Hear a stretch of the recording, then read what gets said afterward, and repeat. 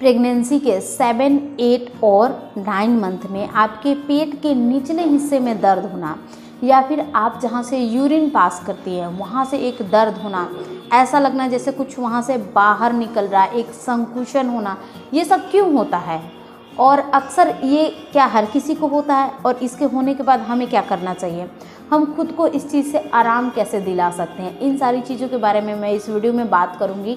मैं मेरा कुछ पर्सनल एक्सपीरियंस भी आप सभी के साथ शेयर करूँगी। चलिए गई मैं वीडियो को स्टार्ट करी हूँ। मेरा नाम है श्वेता और इस चैनल पर आप सभी के साथ मैं अपनी प्रेगनेंसी डिस्कस करती हूँ। मेरी नॉर्मल डिलीवरी हुई है thirty nine week plus second day में। मेरा बेटा फ़िलहाल दो साल तीन महीने का है। तो चलिए मैं वीडियो को स्टार्ट कर रही हूँ एंड गाइस सबसे बड़ी बात होती है, पेट के निचले हिस्सों में दर्द। देखिए प्रेगनेंसी को एक बार हम कंसिडर क्यों न करते हैं? पहला ट्राइमेस्टर एक से तीन महीना। इस टाइम में प्रेगनेंसी के निचले हिस्सों में क्यों दर्द होता है? क्योंकि बच्चे का इम्प्लांटेशन होता है, बच्चे का बॉडी स्ट्रक्चर बनता है, जिस केस में आपके बॉडी के अंदर बहुत सारे फ़ंक्शंस चलते रहते हैं। ब्लड सर्कुलेशन ब्लड का फ्लो फास्ट हो जाता है, इस कारण से आपको निचले हिस्सों में दर्द की समस्या होती है।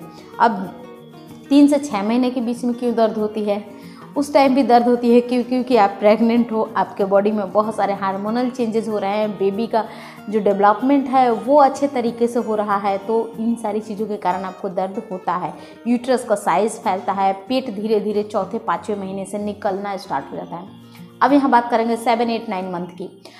इस टाइम में सबसे ज़्यादा जहाँ से आप यूरिन पास करते हो, वहाँ दर्द होना, वहाँ कुछ बाहर निकलने की समस्या क्यों होती है? देखिए सबसे ज़्यादा ये मैटर इसलिए करता है क्योंकि सेवन एट नाइन मंथ के बीच में आपके बॉडी का, बच्चे का पूरा बॉडी डेवलप है, सब कुछ डेवलप है, अब रह गया है बच्चे का वज़न बढ़ना। बच्चे का वज़न बढ़ते जाता है सेवन मंथ से। एट और सेवन एट नाइन मंथ के बीच आपका खुद का भी वज़न बढ़ रहा है। इन सब का भार आपके घुटनों पे पड़ता है। और प्रेशर कहाँ पड़ता है? जहाँ से आप यूरिन पास करते हैं। वहाँ एक प्रेशर होना। तो ये पूरी तरीके से नॉर्मल है। एवरी लेडीज़ को प्रेगनेंसी के टाइम में उस एरिए में प्रेशर पड़ता है। और आप आप लोग बहुत बार जल्दी जल्दी यूरिन पास करने जाते हो। क्यों जाते हो? क्यों जाते हो? क्योंकि क्या होता है कि जो बच्चा है, वो बच्चा जैसे कि आपका यूट्रस के अंदर है ना तो वहाँ पे जो ब्लेडर होता है, उस ब्लेडर पे बहुत ज़्यादा प्रेशर पड़ता है, जिस कारण से आपको यूरिन जल्दी जल्दी आपको जाने की, फ्रीक्वेंट यूरिनेशन की प्रॉब्लम आ जाती है। तो इससे ये कोई बड़ा इशू नहीं है, ये हर किसी को होता है। अब ये है कि आपको निचले जहाँ से यूरिन पास करते हैं, वहाँ दर्द है, उसका हम क्या करें? उस, वहाँ पे उस एरिए में आपको क्या करना है? एक पेरिनियल मसाज करनी है। ये मसाज जो है, वो नॉर्मल डिलीवरी में बहुत ही हेल्पफुल होता है। इस मसाज को मैंने भी पर्सनली किया था, जैसे कि फ़ोटोग्राफ्स के थ्रू आप समझ सकते हैं। हाथों में ऑयल लेके उस एरिए में मसाज करना है, कब करना है, जब रात में आप सोने जाती हैं उस टाइम में भी कर सकती हैं। ये नॉर्मल डिलीवरी के लिए काफ़ी अच्छा जाना जाता है। अब ये है पेट में क्यों दर्द रहता है? पेट में इसलिए दर्द रहता है क्योंकि पेट का आकार आपका बढ़ा हुआ होता है, वज़न बढ़ा रहता है, इतना ज़्यादा हार्मोनल चेंजेज आता है। एक प्रेशर सबसे ज़्यादा ऐसा माना जाता है कि तीस से चौंतीस वीक के बीच बच्चे का हेड डाउन जाता है।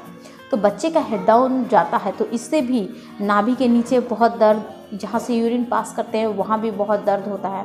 देखिए, एक दर्द होता है, वो मैं समझ सकती हूँ, लेकिन जब आपको तेज़ दर्द हो, असहनीय हो, वो दर्द नॉर्मल दर्द नहीं है। वैसा हो तो आपको अपने डॉक्टर के पास जाना चाहिए। लेकिन जैसे कि नॉर्मल दर्द उठने बैठने में दर्द हो रहा है, चलने में दर्द हो रहा है तो ये नॉर्मल है, ये दर्द हर किसी को होता है प्रेगनेंसी के टाइम बहुत सारी लेडीज़ कमर के दर्द को भी बताती हैं। तो कमर में भी दर्द होना, इस केस में भी आप थोड़ा सा मसाज कर सकती हैं। मसाज ही यहाँ पे एक सॉल्यूशन है।